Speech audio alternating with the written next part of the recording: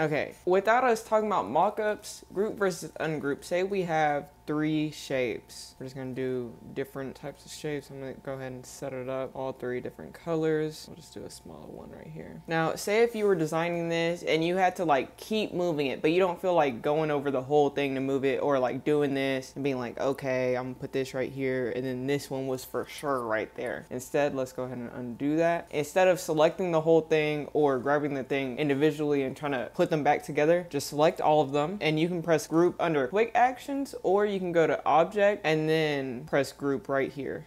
Now what this does is essentially group them all together. So these all act as one, but no, it's three, but it's stuck together like one. Now, just because it's grouped doesn't mean you know, it's just gonna stay like this. You can't move the other. You can either double click that object. This will allow you to move it around wherever you want.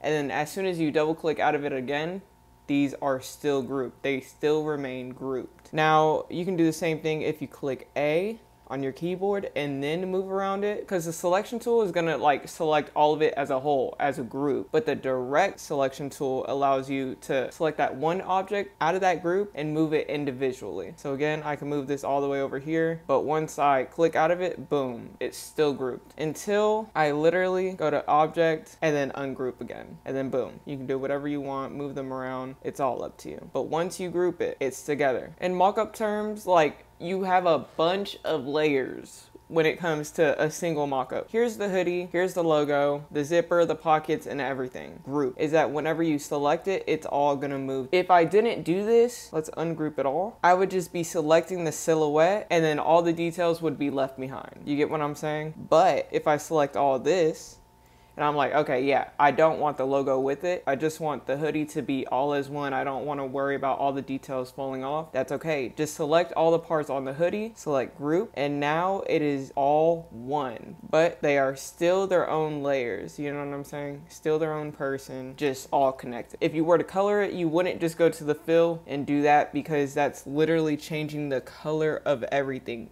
down to the zipper. If you're gonna color something individually, I suggest going to the direct selection tool and then changing the fill or stroke, whatever you're using. But yeah, that is the end of the tutorial. Again, this is gonna be more short form tutorials. I hope you guys like this content. Let me know what video you guys wanna see next. If you're wondering where to get the mockups, just go to the link in the bio or livelylys.com for the mockups, tech packs, and more. And don't forget to use code VECTOR for 10% off.